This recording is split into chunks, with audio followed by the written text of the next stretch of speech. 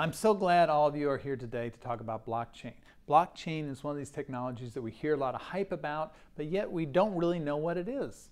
Sometimes there's a lot of what we call FUD, fear, uncertainty, and doubt around blockchain and some of the related technologies. So we're here today to play a game. This is a great game that I invented and you can uh, take and use in your own organization as well. It's called the blockchain game and what we're going to do is we're going to actually build a blockchain ourselves. We're going to do it on paper with paper and pen. We're going to be kind of old fashioned about it. So you don't have to be technical to understand what blockchain is using this game. So um, let's go ahead and we'll start to dive into blockchain, what it is and what it isn't. Now, first of all, I want to tell you that um, blockchain is a distributed ledger, okay?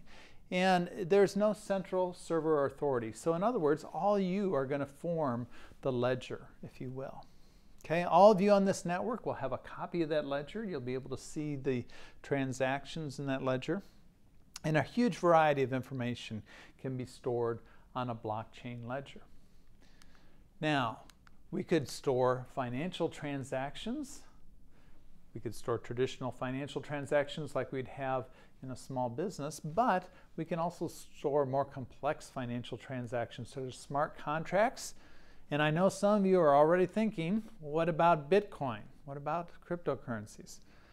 Blockchain is related to the, those technologies, but they're not one and the same. So every time I talk about Bitcoin, I'm going to run over here so that you know the difference. Okay, that I'm talking about something that relates to Bitcoin or cryptocurrencies, but when I'm back over here, we're just talking about the fundamentals of blockchain. We could also store property records. Here in the US, we're blessed with some really good uh, property records. We can go to our local recorder's office and we can see who owned land all the way going back to when it was first platted out. However, many countries don't have this. And so they're really looking at blockchain as a way to store property records, be that property like land property or other types of property. Shipments and inventory. Supply chain management is still a very, very paper intensive industry and our colleagues there are looking at how can they uh, use blockchain to track uh, transactions throughout a supply chain? How can they authenticate the correct sourcing of materials? All sorts of stuff. But what I want you to play along with me right now is a scenario where we would store grades on a blockchain. So let's think about this. We have a distributed ledger for grades. Now, already all teachers calculate student grades and they enter this into some central repository. Okay, so this is called the registrar's office at higher education level, or it is called the central office at uh, K-12 or, or high school.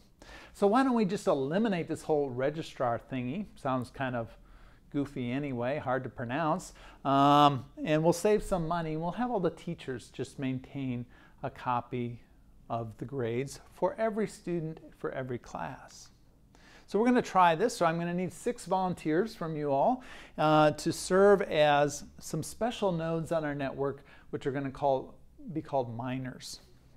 Okay, you're going to have to do some work, maybe even a little math in public, which can be a little embarrassing. Uh, I'll give you some tricks for dealing with that but you will have the chance to win fabulous prizes. Okay, so I'll give you some prizes uh, for your extra effort. And I'm also going to need seven student volunteers. So let's go ahead and get started.